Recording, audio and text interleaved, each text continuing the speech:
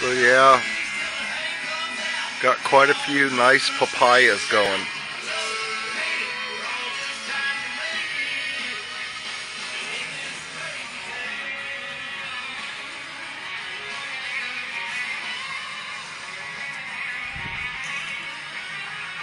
got some possums, is what I'm told. I haven't caught them. Something's climbing up on them, knocking the fruit off. Especially up, you can see between the flower and the fruit there, they were all knocked off by something. Same with that one. And then I got this bee, hoping to catch him. I'll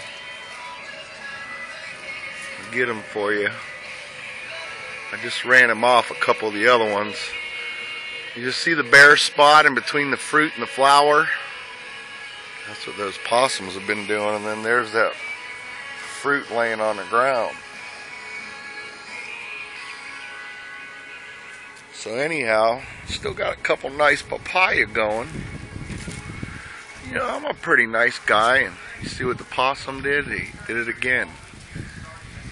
And I've been giving away some papayas and somebody looks at them and smiles real big says, nice papaya.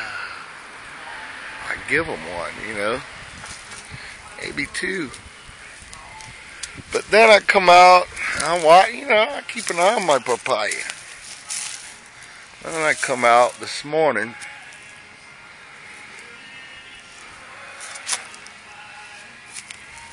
You see right there? Somebody helped themselves to my papaya.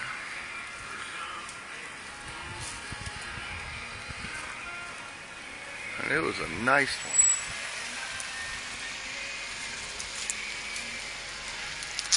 Could have been the neighbor, but she'll probably tell me since I hung a sign on it.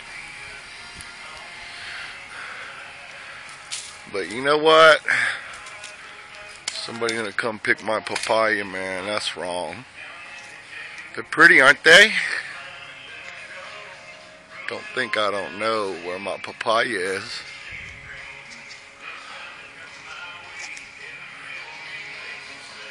So yeah, I got these bugs that take a toll. It's a wasp. And they infect a bunch of them. They lay their larvae in it. And then I give away more than I eat. And now I got some body coming to help themselves on my biggest, best papaya. uh-huh.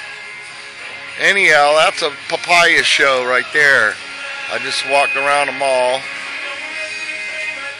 There's the last tree. Aren't they pretty? some monsters on that one, bud. Possum hasn't got on that one. So, there you go, papaya tour.